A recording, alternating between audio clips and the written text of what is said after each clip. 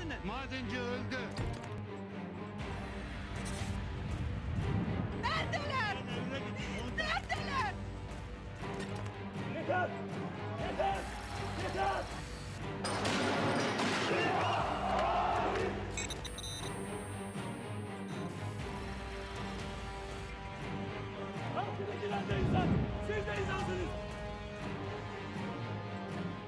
da yayınlanmayacaksa hiç biz konuşmayalım. İyi akşamlar. Ne yapmalı, nasıl yapmalı da bu akşam gündemde işçiler var. Ermenek'teki e, acı kaza e, artık e, hala işçilerden somut bir haber alınabilmiş değil. Gözler e, göçüğün altındaki işçilerde hala onlardan haber bekliyoruz. Soma işçilerinin yürüyüşü vardı, Ankara yürüyüşü. E, Ermene e, yönelttiler ama polis engeliyle geri dönmek zorunda kaldılar. E, Ülker işçileri e, direnişte iki gündür. Stüdyomuzda şimdi onlar var. Programın ikinci bölümünde de e, Soma'ya, Ermene uzanacağız. Ne oluyor, ne bitiyor? Son durumu alacağız yorumlarla birlikte. Evet, e, Murat Topal ve Mustafa Çakar'la birlikteyiz. Ülker işçileri biri 12 yıllık, biri e, 15 yıllık Ülker işçisi. Hemen e, Murat Topal'dan başlayalım. Sabah işe gittiniz ve işten atıldınız. Niye? Ne oldu da e, Ülker e, 12 yıllık çalıştığınız fabrika size e, işinize son verdi? Öncelikle teşekkür ederiz bize bu e, fırsatı verdiğiniz için.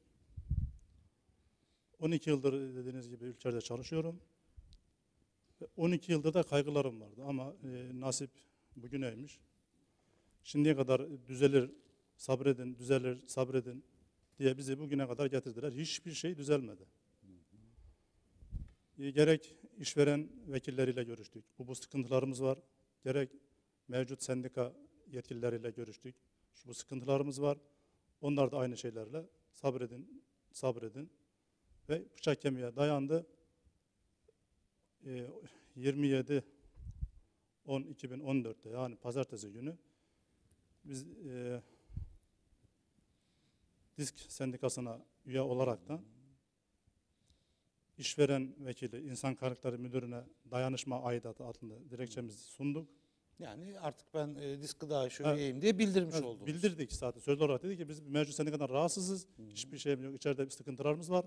Eğer dayanışma aidatını verip biz bu sendikadan ayrılıp disk sendikasıyla devam etmek istiyoruz diyerek bildirdik. O da şu anda imzalamayacağını, yarın görüşeceğini sunarak bize tebliğ etti. Dedik tamam siz imzalamayacaksanız biz noterden ihtar çekmek için şu anda buradan ayrılıyoruz. Vardiyamız çünkü 15'te bitmişti. 17.30'a kadar bizi orada oyaladılar. Toplantı var, şu var, bu var bahanesiyle. Biz dışarı çıktığımızda bizi tekrar çağırdılar. Bir saat bekleyin size sonuç bildirelim diye. Geri sonuç bildiren geri çağırdıklarında işte işveren vekillerinin e, şeyiyle beraber 25. fıkra bilmem şu maddesince iş haddinize son verilmiştir diyerekten kağıtları imzalamamızı istediler. Biz dedik ki iftiradır. Biz öyle bir şey değil şimdiye kadar. Bir problem yaşamadık. Düzeni bozmaktan. Yani düzeni bozmaktan, o. işte amire karşı gelmekten gibi şeylerle bizim iftira atıyorsunuz. Biz bu kağıdı imzalamıyoruz. Ve çıkıyoruz. Oradan çıktık İnsan Kaynakları Müdürlüğü'nden.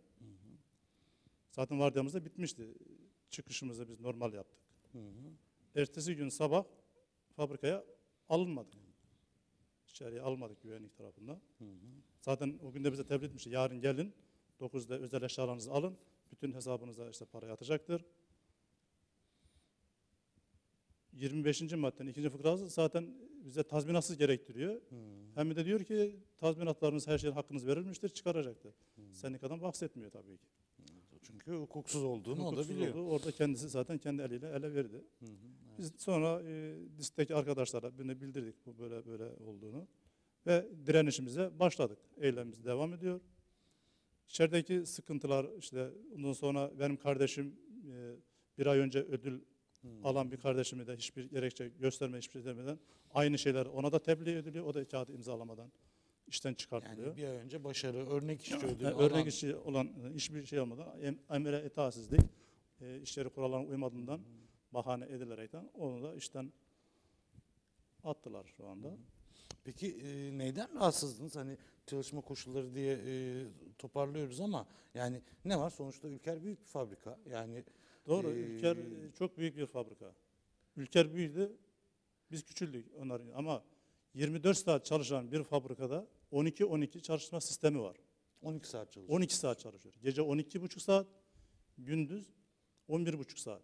12,5 saat gece çalışma sisteminde iki bir vardiya başında yemek saati var yarım saat, bir de gece kahvaltı saati var. Gece de dinlenme saati veya ara öğün saati, dinlenme uyku saati hiçbir şey yoksa sadece tuvalet işte ihtiyacın e, namaz ihtiyacı veya diyeyim. O da 15 dakika 10 dakikayı geçmeyecek.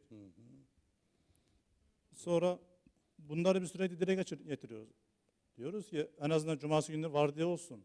Biz geceden çalıştığımızda pazar günü sabah işten çıkıyoruz. Pazartesi sabah tekrar gündüz vardiyasına geç, geçtiğimizden dolayı tekrar işe gelmemiz gerekiyor. Bu sefer çarşambaya kadar kendimizi toparlayamıyoruz. Bir gecenin verdiği yorgunluk var, bir de uykusuzluk var. Bu aylardır ben de zaten psikolojik sorunlar başladı. Uykusuzluk 12 12 saat sisteminde. İş yeri hekimine de ben bu sıkıntımı bildirdim. O da işte e, bu konuda kendisinin yardımcı olamayacağını, dışarıdaki bir psikiyatri doktorunun yardımcı olacağını bildirerekten e, bana tebliğ etti. Ben de dışarıdan psikiyatri doktorundan işte yazı getirdim. Sonra ya- yazılmadı. Yazılma resmi olarak yazmamalarına rağmen posta başları ve şefler beni defalarca gece listede gece gösteriyorlar. Ben tekrar gidip bilgi notu attırmam, puantörden benim kartımın okuması bana bir psikolojik baskı sürekli yine devam etti. Psikolojik tedavi Rapora görmem, rağmen. psikolojik tedavi görmem gerek, gerek- gerekirken araştırma hastanesinin bana verdiği o yazıdan dolayı işveren vekilleri bu sefer bana değişik yolda psikolojik baskı yapmaya başladılar. Sinirlerim bozuldu. E- evdeki e, bir 3 yaşındaki benim bir oğlum baba sen hep 3 saat sen hep uyuyup hep işe mi gideceksin? Hep uyuyup hep işe mi gideceksin? Ben seni ne zaman göreceğim? E, bu şeyler benim psikolojimi bozmaz mı? Demek ki ben çocuğuma zaman ayıramı- ayıramamışım ve 12 saat içerisinde iş ve iş 12 saatin üstüne Evet. yolu falan koysan geriye uyku uyuyacak zaman ancak kalıyor. Kal- yani. Kalmıyor bile yani 4 saat 5 saat uykuyla biz tekrar uyuyabilirsek işe geliyoruz. Ve iş yerinde levhalar asılıyor. İş yerine dinlenmiş olarak geliniz. İş yerine e, işte uykusuz gelmeyiniz, dinlenmiş olarak gelin levhalar asılıyor ve buna rağmen kendileri hiçbir tedbir almadan e, bunları biz çeşitli e, şeylerde sendika yetkilerine, işveren yetkilerine paylaşıyoruz ama paylaşıldığımız bile suç olarak onlara bir şey, bir şey yapıyor. Yine, yine baskılar devam ediyor. Hakkınızı aramayın. İşinize gelirse çalışın. Burası ülker gibi şeylerle bizi sürekli Evet bu çalışma koşullarını ben e, Mustafa Bey'e de sorayım. E, bu hani psikolojik e, yanlarından bahsetti e, Murat Bey ama e, bir de insan bedeni bu. Ya 12 saat çalışıyor ki sizin iş kolunuz öyle kolay bir iş kolu da değil yani çikolata gibi, bisküvi gibi tatlı bir sektör görünüyor ama Aynen. işçi için öyle değil. Siz e, neler yaşadınız? Sizin de bazı rahatsızlıklarınız olduğunu biliyorum. Ee, Şimdi ben e, pirinç patlatma e, bölümü diye bir bölümde çalışıyorum. Ee, çalıştığım bölümde genellikle 52 25 ile 50 kiloluk çuvallar var.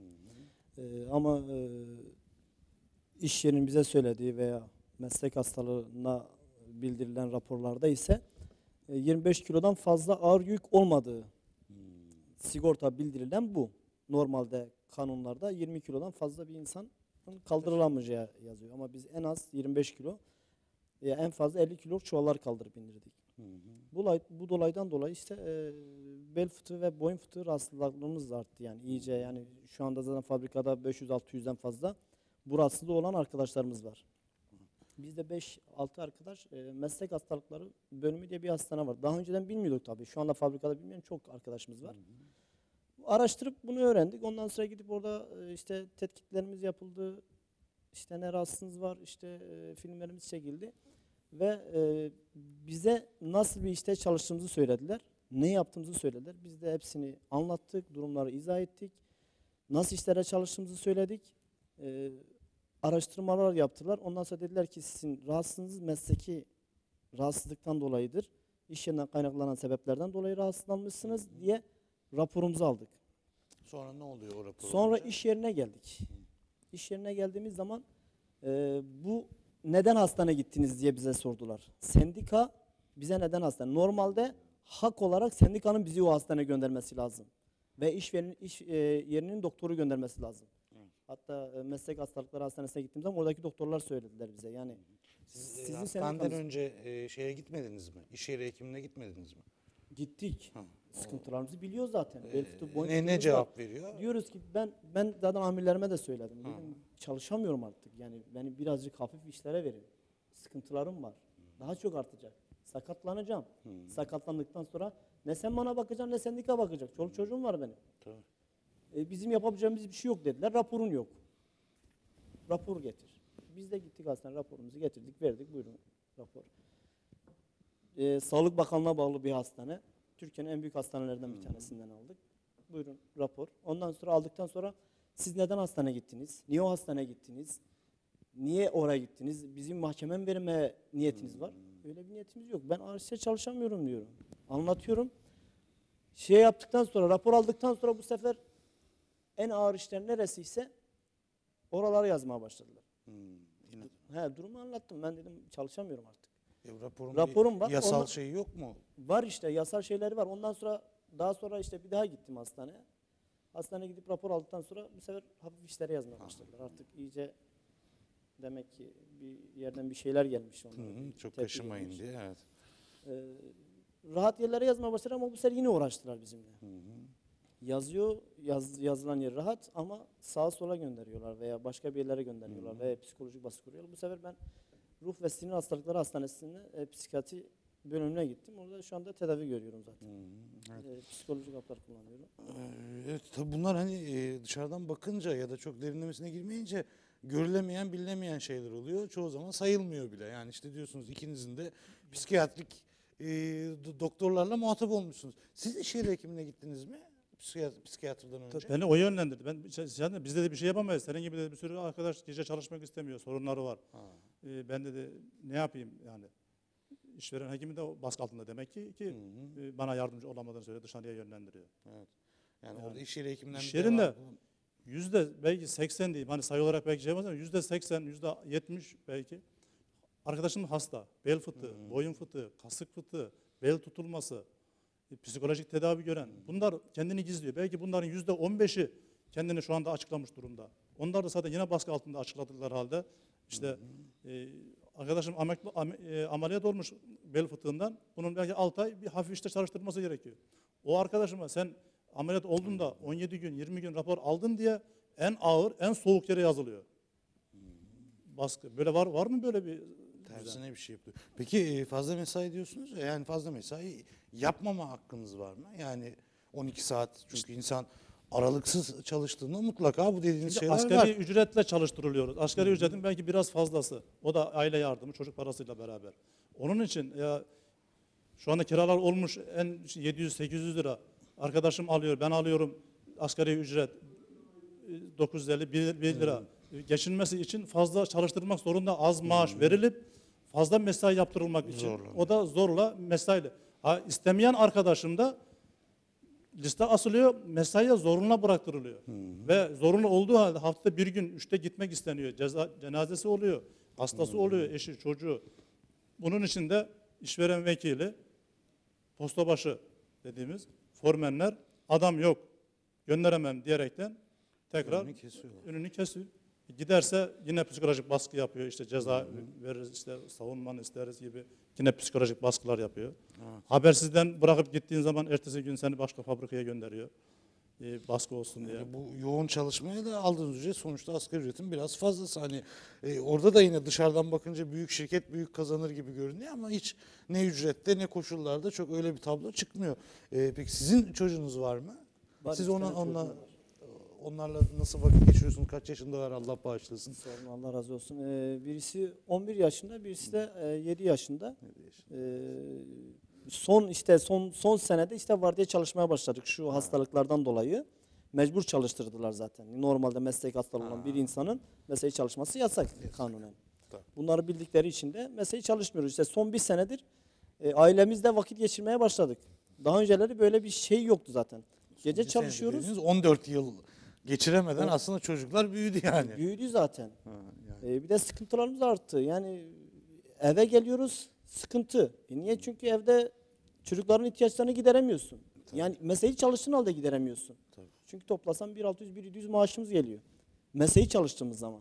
Ben bununla çocuğumu nasıl geçineceğim? Kendime nasıl bakacağım? Kiramı vereceğim, şeyimi vereceğim. Bir de mesleği çalışmıyorum ben son 6-7 aydır. Bu sefer 1200 1200 lira düştü. Ben bu 200 1200 lirayla 550 600 lira kira vereceğim. Faturalarımı ödeyeceğim, çocuklarıma bakacağım.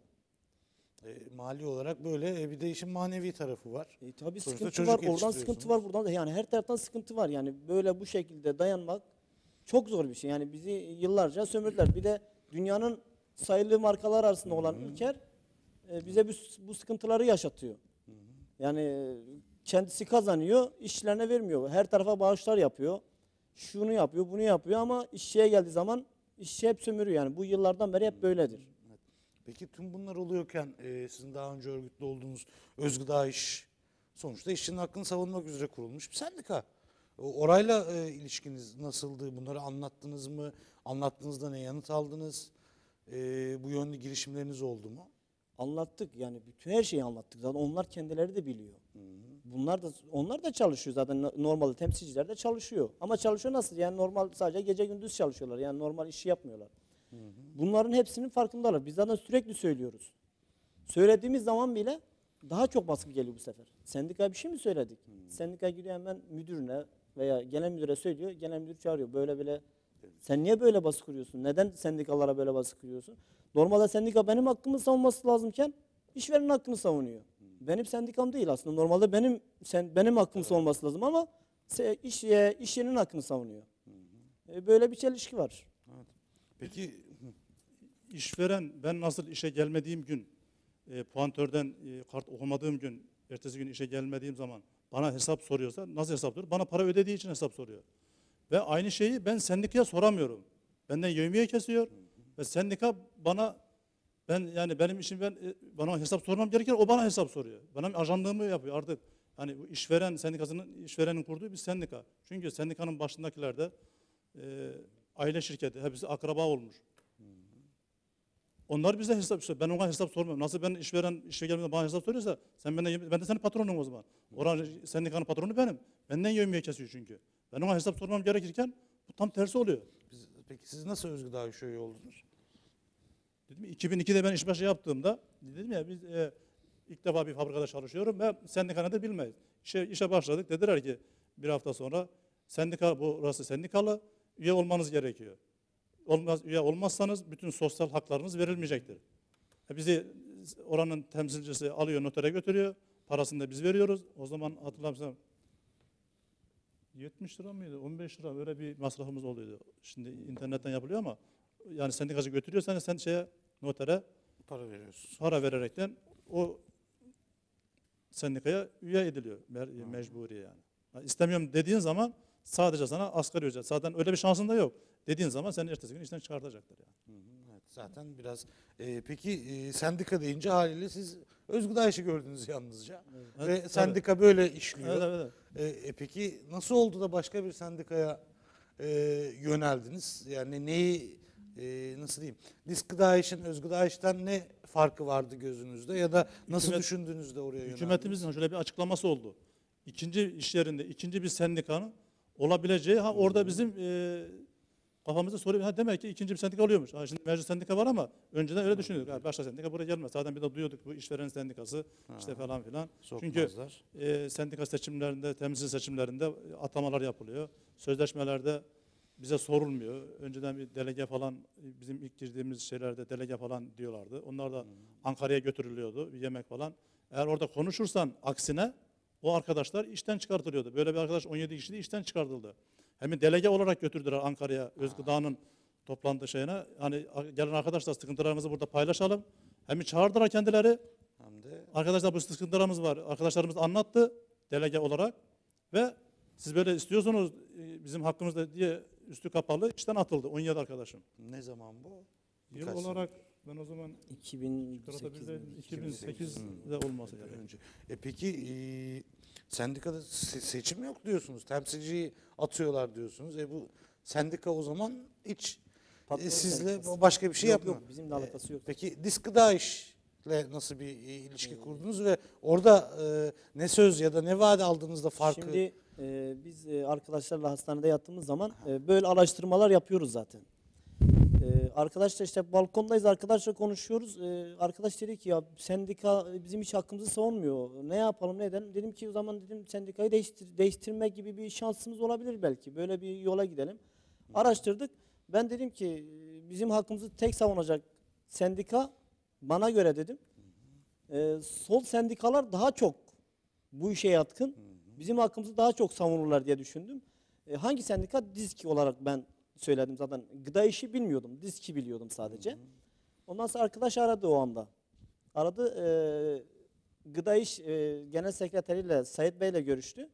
Ondan sonra işte ilk görüşmemiz orada, öyle oldu. Ondan sonra Topkapı'da buluştuk. Konuştuk arkadaşlarla, toplantı yaptık.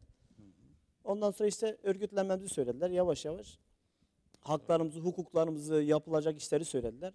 Biz de baktık e, bizim haklarımızı savunacak e, sendik olarak e, Gıda İş Sendikası'nı gördük yani. O yüzden böyle bir yola başvurduk.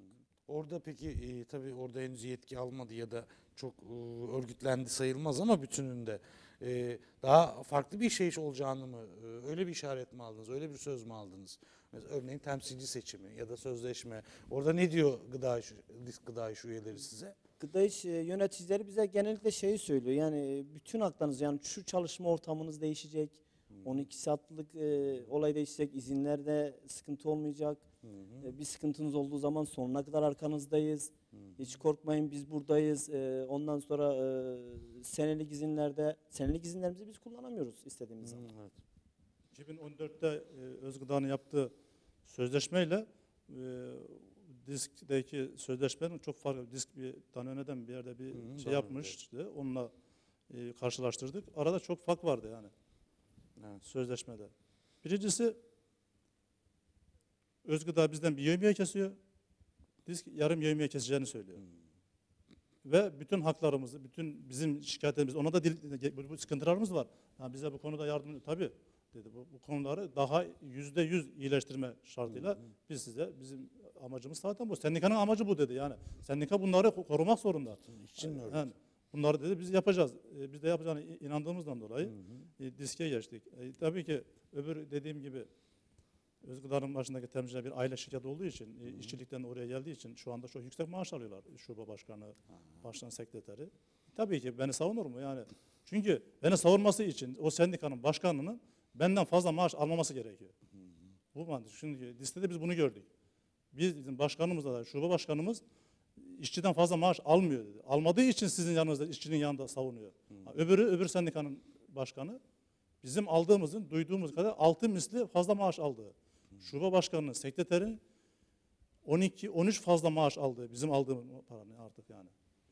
Çok yüksek bir maaş aldı. E, tabii ki o patronu savunur. Beni savun, savunmaz beni? Tabii ki Üstelik patronu o savunur. maaşı da sizin maaşınızdan alıyor. Sizin verdiğiniz Yani aidattan tabii, alıyor tabii. yani. Patrondan almıyor nihayetinde. E peki hani e, Murat Bey dedi ya arada sol daha iyi savunur. E, şimdi şöyle de bir gerçek var. Özgıda İş, e, Yeşil Sendika, İslamcı Sendika, Dinci Sendika neyse bir sürü şeyle bilinir, söylenir. Diskte solcu bilinir. E siz e, mütedeyyin bir insansınız. E siz hani işçilerin e, mütedeyyindir, solcudur, sağcıdır dışında bir böyle bir sendika tercihi yapıyorsunuz. Şimdiye böyle olduğu kadar, halde şimdiye kadar demek ki biz bu konuda da uyutulmuşuz. Biz görüyorduk postanenin önünde bizim yakınımızda PTT eylem yapıyordu ondan seneler önce. Ondan Cam sonra iş. Cam iş, e, şişe cam eylem yaptı. Topkapı'dan. Sadece biz oradan geçiyorduk. Ya işte yazık. Yağmurda ıslandılar, üşüdüler. Ha bugün bizim başımıza geldi biz anladık. Ki diskin veya diğer sivil kuruluşların bize şimdi iki gündür öyle güzel e, yardımlar ve öyle tebrikler e, oraya kadar gelip bizim direnimize destek veren o kadar sivil toplum kuruluşu tanımadığımız arkadaşlar bize öyle destek verdiler ki inan ki duygulanmak yani elde değil. kimler geldi mesela? Aklınıza gelen. Yani o İder Derneği geldi. Ee, Antikapitalist e, Müslümanlar geldi. Ee, emek partiler geldi. KES'ten geldiler. Ee, Liseliler geldi. gelmiş herhalde. Liseli Onu Liseli geldi. öğrenciler, ondan sonra e, üniversite öğrencileri orada gelip beraber e, yani semaferimizde kadar dahi kendileri bunu yaptılar. Çaylar şekerini getirdiler, yemeklerini yani bize ikramlarıyla beraber e, yani ta maddi şeyine kadar yani saymayla bitmez. Yani biz o kadar mutlu olduk ki. Dedik ki biz içeride cezaevinden kurtulmuşuz. Çok şükür Allah'a. Demek ki her işte bir hayrı vardı. Her musibette bir hayrı vardı şu anda. İçerideki arkadaşlara bir şey seslen- seslenmek istiyorum. Şu anda onların aşırı gördüğü o solcu gördükleri gruplar bizim arkamızda şu anda. Ve onların yanlış bildikleri, ha, yarın onların da başına geldiği zaman bilecekler ama Allah onları da uyandırsın diyeyim. Şu anda biz içeriden bu desteği göremedik. Ama bundan sonra göreceğiz, biz inanıyoruz tabii. O arkadaşlarla biz içeride omuz omuza çalıştık. 12 sene, 15 sene, 21 sene beraber çalıştığımız arkadaşlarımız var. Beraber secdeye gittiğimiz, beraber aynı çatı altında. Ama şu anda onlarda bir korku var. İnşallah o korkuyu yenecekler, bize destek verecekler. Çünkü yanlış yani o sivil toplum kuruluş örgütlerini içine girsinler, dinlesinler ya. Onlar da insan yani. İnsan Müslüman olmadan önce önce insan olmalı yani. İnsan haklarını savunmalı. Biz orada hak savunuyoruz. Biz zaten şu anda bütün sosyal şeylerimizi istesek alıp çıkıyorduk yani. Ben zaten diğer arkadaşlarım da bu SSK'nın bize verdiği bir şey var. 15 yıllık üzerinden biz tazminatlarımızı istediğimiz zaman alıp ayrılabiliyorduk. Biz onu da yapmadık. İşveren bizi bütün haklarımızla işten atarak gönderdi. Biz onu da istemedik. Dedi ki bizim amacımız buradaki haksızlıkları düzeltmek. Bizim amacımız parayı alıp da işten ayrılmak değil. Biz yani içerideki çok büyük haksızlıklar var. Bunlara artık bıçak kemiğe dayandı demiştim. İçerideki arkadaşlar da sesimizi duysunlar. Bu şeye hep beraber destek verirlerse bu zulüm biter. İçerideki işte bütün sıkıntılarımız tek tek saymayla bitmez. Bütün sıkıntılarımız biter. Bize destek verirlerse biz tekrar işe iade ediliriz ve o sendikayla içeri gireriz ve o sıkıntılar biter. Herkes İçerideki için sıkıntı- biter tabii. Herkes Sadece için biter yani. için. Arkadaşları bizi bu desteğini ilk etapta göremedik. İnşallah bugünden sonra desteklerini bekliyoruz. Yanlış tanımasınlar. O arkada sivil toplum kuruluşlarını e, yanlış tanımasınlar. İçimize gelsinler, bilgi alsınlar. Orada uzman arkadaşlarımız var, avukat arkadaşlarımız var. Onlar da gelsinler, bilgi alsınlar. Yasal haklarını. İnternette akşama kadar internette geziyorsunuz. İşçi hakları nedir? Mesai konusunda yani onlarla bilgi alsınlar. Biz onlar için bu direnişi başlattık. Evet. Ee, sen e, nasıl değerlendiriyorsun? Sonuçta 900 işçinin olduğu bir işletme. Siz 8 kişisiniz şu an işten atılan. Ee, ve direnişe başladınız. Kapının önünde. Pat, e, sonuçta o fabrikaya gidiyor çıkıyor işçiler. Sizi görüyorlar. Haberleri var, bilgileri var. Ee, yaklaşımları nasıl? Nasıl bir şey öngörüyorsun bundan sonrasına ilişkin? Şimdi e, ilk günümüzde zaten e, arkadaşları gördük. Arkadaşların hiçbirisi normalde sürekli işte e, arkadaşlarım, dostlarımız hep selam verip selam aldığımız arkadaşlar.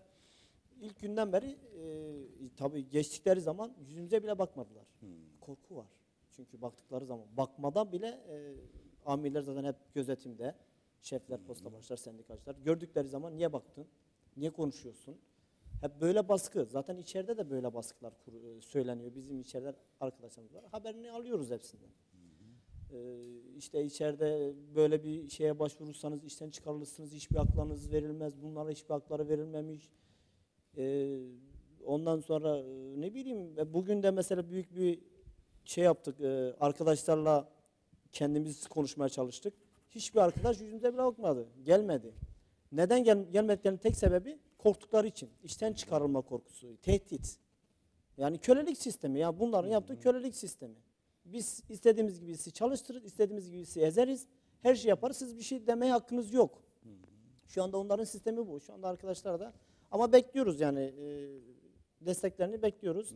E, ben e, desteklerini yapacaklarına inanıyorum. Eninde sonunda bunu yapacaklar artık. Onlar da yeter diyecek bizim gibi. Biz de yıllarca ezildik.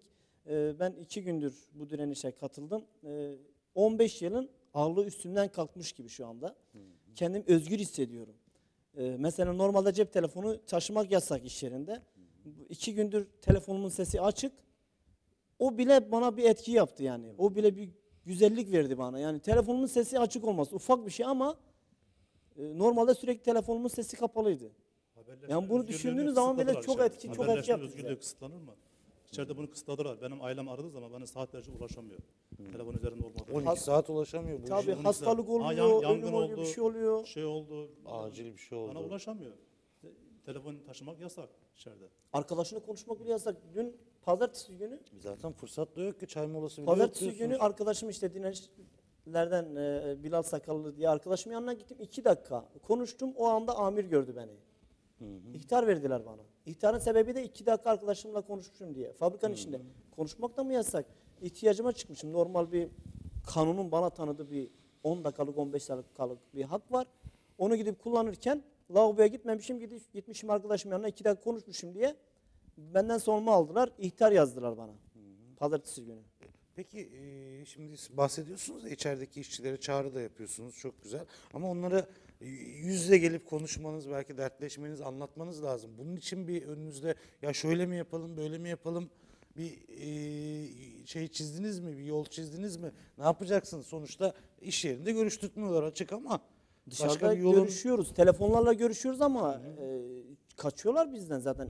Çok samimi olduğu arkadaşlarımızla görüşüyoruz. Ailece görüştüğümüz arkadaşlarımız var ama diğerleri görüşmek istemiyor zaten. Kaçıyorlar bizden. E, sebep bilmiyorum. Sebebini bilmiyoruz. Peki yani. hiç anlatıyorlar mı ya ya da size eleştiriyorlar mı ya sizin yaptığınız doğru değil şöyledir böyledir hani bir temas mı ya yoksa suskunlukla mı Ya beni mesela bir arkadaşım aradı içeriden. E, dedi ki ya bu hani sizin şu anda destekleyen o disk sendikası nereye kadar yani destekleyeceğiz? Ne kadar güvenebilirsiniz? Dedim ki ben şu anda hepimizin hakkını savunuyoruz. Ve şu anda o bizim ar- arkamızda. Ama siz neredesiniz?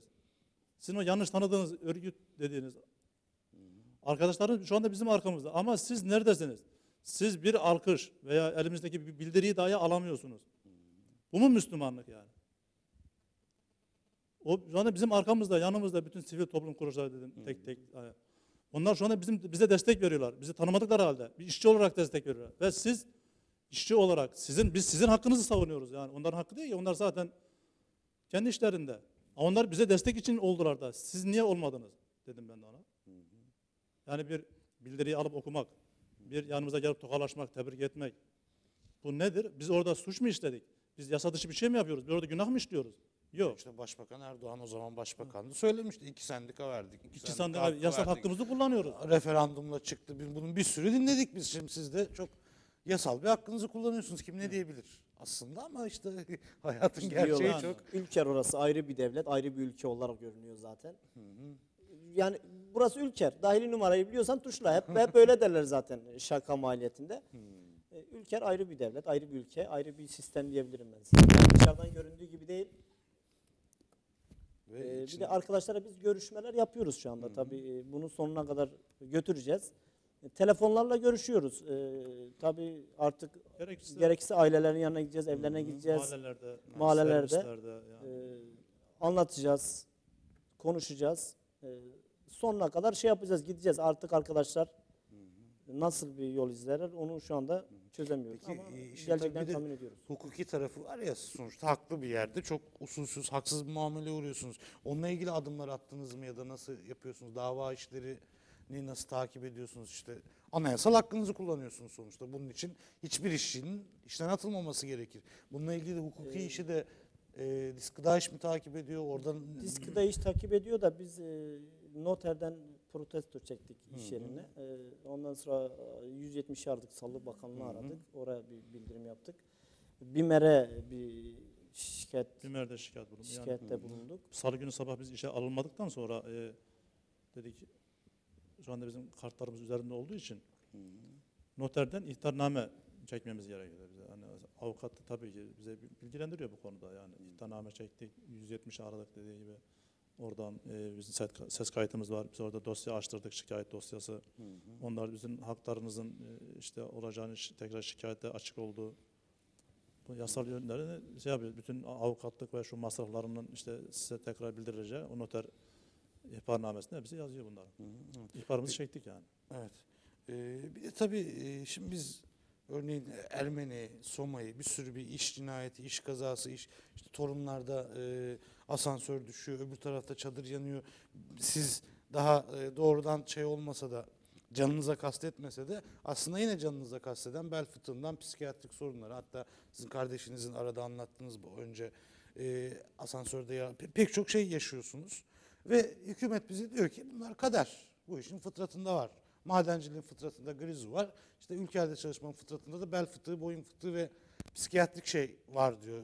Nedir e, bu iş? Kader mi gerçekten? Yani çünkü e, bir konuşmasını bu daha eski şeyle ilgili Erdoğan'ın yine dinlemiştik. Yani siz bilmezsiniz ama siz inanmazsınız ama diye bir de suçlayarak ve e, neredeyse işte inancına da laf söyleyerek, kadere, kadere imana gönderme yaparak İslam'ın şartlarından biri, imanın şartlarından birine gönderme yaparak söylüyordu. Kader mi gerçekten boyun fıtığı olmanız? Psikiyatri Kader var tabii. Kadere inanıyoruz elhamdülillah ama tedbir almak var.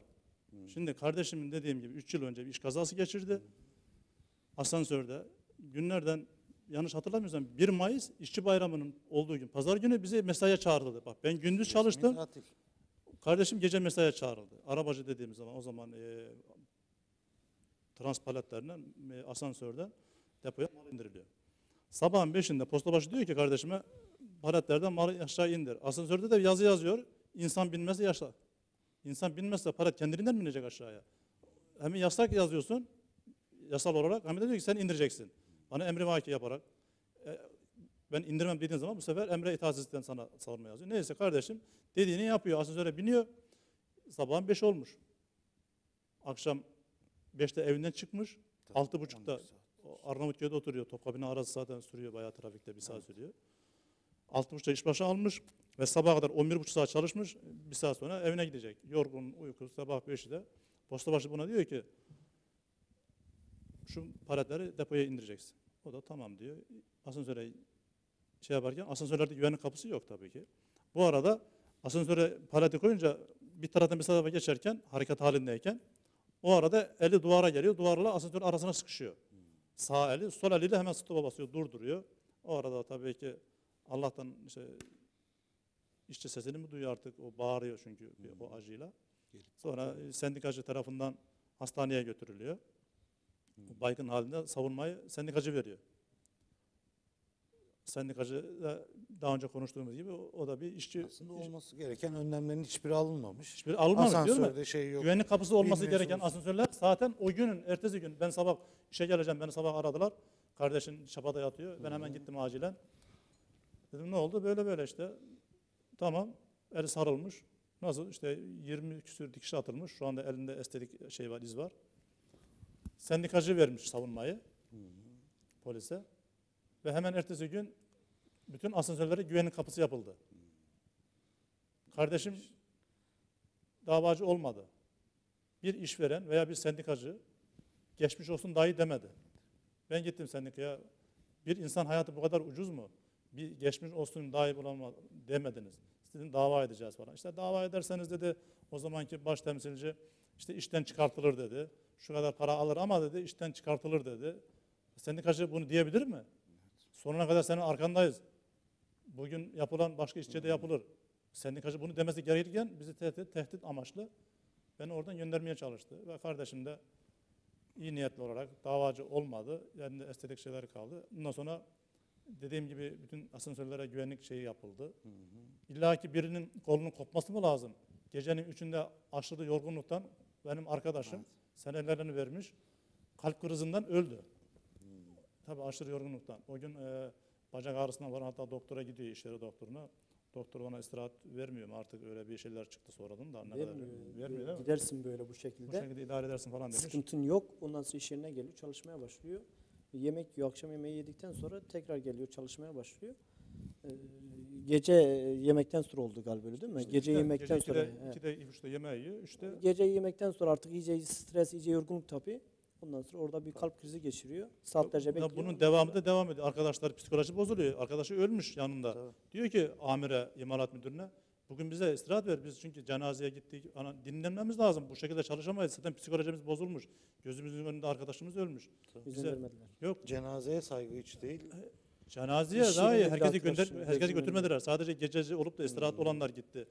O beraber çalıştığı arkadaşları dedi ki bugün testi kapatın da bugün dinlenelim. Veya bugün vardiya çalışalım mesai yaptırmayın. Yok. Sadece demişler işlerinden bir kişi gidebilir. O bir kişi de dedi, sadece ben niye gideyim o zaman? O da gitmedi. Üretime devam. Her şeye kader diyorlar zaten. Kader değildir yani bunlar tedbirsizliktir. Tedbir almak var. Açık açık kastedilmiş yani. Mesela Kadere inanıyoruz tabii ki işçiler bir önlem alınsaydı, bir kabin yapılsaydı, bir şey yapılsaydı e, 300 tane değil de belki 10 kişi giderdi. Yani e, sonuçta o zaman bütün önemini alırsın. Torunlardaki Olay olduktan sonra ona kadar dersin. mesela, taşeron olayı. Beni gereken hatta bir arkadaşım aradı bizim e, aynı iş yerinde çalıştığımız, aynı tezgahta çalıştığımız taşeron arkadaşlar var. Bizden daha aşağıda ve AİV yani alt işveren diye arkadaşlar taşeron ve taşeronun altı çalışan firmalar var. Bizim çalıştığımız firmada. Taşeron taşeron. Taşeronun taşeronu. Onlar daha azalıyor. Mesela torunlardaki olan olayda dediğim gibi şu anda hani torunlara hiçbir yasal işlem yapılmamış. Niye yapılmamış? İşte e, taşeron sorumluluğu altında olduğu için yani ülke, ülkelerde de taşeronun taşeronu var. Aynı işte aynı tezgahta biri sendikalı, biri sendikasız, biri sözleşmeli, biri sendikalı. İşte oradan da bölüyorlar işçiyi, öbüründen İşte de amaçları bölüyorlar. da bu taşeron. Her türlü e, bölmeye çalışıyorlar. Şimdi demiryolu işçisi bir e, Okan Öner diye bir izleyicimiz sormuş. Demiryolu işçisiyim. İşçiden yana olmayan sendikaları değiştirmek için ne yapmalıyız diye soruyor size. Sendikal mücadeleyi ilerletmek için ne yapmalıyız diye soruyor yine. Bir de e, siyasetçilerin sendikalı e, sendikaları ele geçirme planı ile ilgili ne düşünüyorsunuz diyor. Çünkü siyaseten de bu sağcı, bu solcu sendika, bu ortacı sendika, bu yeşil sendika gibi de bölüyorlar ya. Yani e, giderek işçinin arasında aslında sizin dediğiniz bazen çalışma biçimi, bazen maaş, bazen bir şey bölen bir şey var. E nasıl birleşecek bu işçiler de sendikaları değiştirecekler? Her şeyden birlik ve beraberlik. Birbirimizi sevmek zorundayız yani. İşçiler olarak birbirimizi seveceğiz ve e, anayasanın verdiği şeyleri kullanacağız. Yetkililer, ikinci sendika, üçüncü sendikayı oraya getireceğiz. İşçiye hangisi sendika daha sahip çıkıyor? Bunu araştıracak, araştırmasını yapacak, geçmişe dönecek. Ülkenin geçmişinde de disk varmış. 79'larda falan. Evet. İşte orada O darbeden sonra kapatılınca tabii. Ondan sonra kapatılınca işte kendi sendikasını kuruyor. O arkadaşıma da işte dediğim gibi işçi birlik beraber hani sendikasızlık kötü sendikadan iyi de bir laf var ya. Öyle değil de yani sonuçta işçinin birliği lazım. Her yerde birlik olsunlar. Ve işçiye hangi sendika sahip çıkıyorsa o sendikayı üye olup oraya getirebilirler. Ama çoğunluğu sağlamak e, şeyle tabii ki birlik beraber olsunlar. Yani. Evet sen ne dersin e, Murat? Zaten şu anda e, mevcut hükümetin tek istediği şey e, zaten e, Hak için Genel Başkanı Salim Uslu şu anda AK Parti'de milletvekili. E, tek destekleyeceği şey Özgür'de şey e, Hak işi destekliyor şu anda. Yani tek istediği şey Hak işin gelmesi. Diğer sendikalara o kadar şey yapmıyor. Özellikle disk veya böyle hak hukuk arayan bir sendikayı istemiyor. Çünkü e, şeye baktığın zaman e, milletvekillerinin yüzde seksene baktığınız zaman hepsi işveren. Yüzde doksan işveren zaten. Ya en azından işçi olmadığını biliyoruz. Yok işçi değil, hepsi işveren zaten. Yani Çok baktığınız yani. zaman hepsi işveren. E, bunlar da böyle bir sendikayı istemezler. Kim isteyecekler? Hak işi isteyecekler. Çünkü hak iş istedikleri gibi her çeşit şeyi yaptıracak bir sendika. Yaptıracaklar Peki, bir sendika. Hani Okan şeyi sormuş ya sen sendikacı e, siyasetçilerin sendikaları ele geçirme planı diye. Ben onu terse çevirip sorayım. Senin dediğin gibi meclisi hepsi patron milletvekilleri. Nereden o ya da işte e, işçi değil en azından. Patron değilse de daha üst gelir gruplarında. E bu işçiler nasıl girecek bu meclise ya da nasıl siyaset yapacaklar? Nasıl yapacaklar? Birleşecekler. Yani sağı, solu, e, dini, dinsizi veya şunu bunu kimseyi hiç kimseyi ayırt etmeden alt kesim işçilerin, herkesin ben işçiyim, ben ezilen kesimim e, diyerek herkesin birleşmesi lazım. Yani hiç ayırt edilmeden ne olursa olsun sonuçta işçiyim. En alt kesimde benim, ezilen benim. Benim birleşmem lazım. Herkes böyle düşünürse bu sıkıntılar aşılır diye düşünüyorum. Aşılır da yani. Birlik olacak. Herkes birlik olacak. Birlik olursa düzelir. Siz mesela hiç kaygı duydunuz mu? Ülkeler için biraz oradan oraya geçerek aslında aynı sorunun devamı olarak sormak istiyorum. Yani ya sonuçta ülker e, grubu yeşil sermaye. E, işçileri daha çok oradan seçmiştir. E sendika zaten öyle.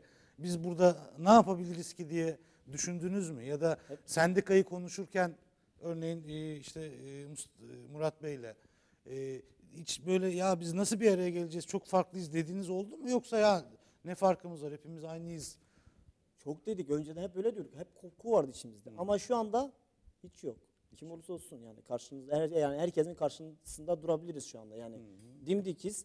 Ee, tabii e, dimdik olduğumuz zaman da diğer arkadaşlar da gelen arkadaşlar özellikle lisedeki öğrencilerin o gelmesi mesela bizi çok etkiledi. Ee, lise öğrencisi bakıyorsun 16-17 yaşında gencecik çocuklar seni desteklemeye geliyor. Bakıyorsun o seni destekliyor. Sen bu yaşa gelmişsin, sen hiçbir şey yapmamışsın. Artık yeter diyorsun. Bu saatten sonra ne ülker, ne başka birisi hiç kimse bizim önümüze geçemez. Yani siyasetten hiçbirisi de geçemez. Biz bu hakkımızı sonuna kadar götüreceğiz. Bütün yasal haklarımızı kullanmak istiyoruz. Kullanacağız da yani. Haklarımız ne varsa hepsini kullanacağız. Siz e, 47 dakikayı doldurduk programın. Bu bölüm bitti ama son olarak eklemek istedikleriniz ya da e, hem ülkede çalışan işleri hem de genel olarak Topkapı'da bir geniş işçi bölgesi. Sadece ülker değil başka fabrikalar işletmeler de var. Hani Hepsinden Siz- destekler yağıyor anda. siz camın önünden geçip gidiyordunuz ama cam işçisi onu yapmasın yani. Hani siz bu burada ne söylemek istersiniz hem e, ülker işçisine hem de e, genele, genel bütün izleyicilerimize ne bekliyorsunuz? Neye ihtiyacınız var? Tabii onları da e, çay şeker geldi dediniz ama o yarın biter yani. Yine ihtiyaç olur. Ee, tüm işçi kardeşlerime ben buradan seslenmek istiyorum. Yani başına bir olay gelmeden önce tedbirini al. Şu anda biz adımı attık. Ve devamını gelir inşallah. Hani dediğimiz gibi destekler yağıyor ama siz de dediğiniz gibi biz destek içeriden işçiden gelmesi lazım. O içerideki düzenin bozulması lazım. Ülke, o ülke işçisinin artık o e, 70 80 belki şu an 40 senelik içerinin o düzenin bozulması lazım. Bu düzeni biz bozacağız Allah'ın izniyle. Biz adımımızı attık. Direnişe destek versin.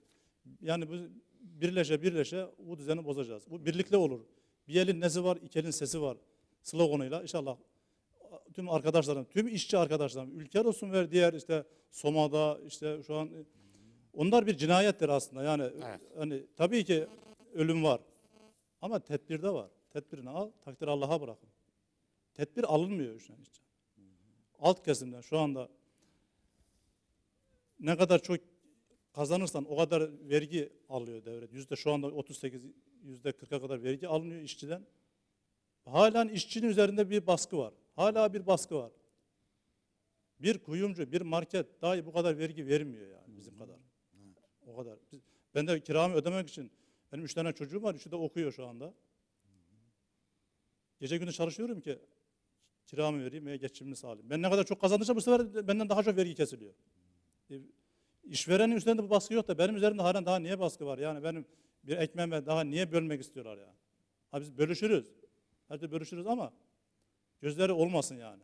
Hakkı- İşçi kardeşlerime de seslenmek istiyorum ki bu bizim dayanışmamıza destek versinler inşallah. Biz direne direne kazanacağız. Evet. Sizin de son mesajınızı alalım. Ee, İçerideki işçi arkadaşlarıma sesleniyorum burada. Ee, artık yeter. Bu kadar yeter, bu kadar zulüm yeter. Yıllardan beri bize çok çektirdiler. Artık yeter. Ee, artık ayağa kalkmanın zamanı geldi. Ee, direnişimize bekliyoruz bütün arkadaşları, bütün çalışanları, bütün sendika örgütlerini, bütün te şeyleri, e, dernekleri, herkesi bekliyoruz. Ee, inşallah bunu kıracağız. Ee, öyle görüyoruz şu anda, öyle görüyoruz. Olacak. Peki bir e, ihtiyacınız var mı diyelim izleyicilerimize? Ya şöyle bir destekli olursunuz, böyle olursunuz dediğiniz bir şey varsa, yani nereden yürüyeceklerine dair bir şey varsa onları da alalım. Ziyarete herhalde kapınız açık. Açık. Destek vermek isteyen herkes sizi Ee, Topkapı'ya gelince Topkapı Davutpaşa Caddesi'ne herkesi bekliyoruz. Ee, en azından semaverin çayını içmeye. Aynen. Semaver çayımız. Semaverimiz var, çayımız var, şekerimiz var. Herkesi bekleriz. Evet, e, yolunuz açık olsun. Şimdilik iyi akşamlar dileyelim. Mezbahaneler doldu, hastaneler doldu cesedini. Madenci öldü. Neredeler? Neredeler?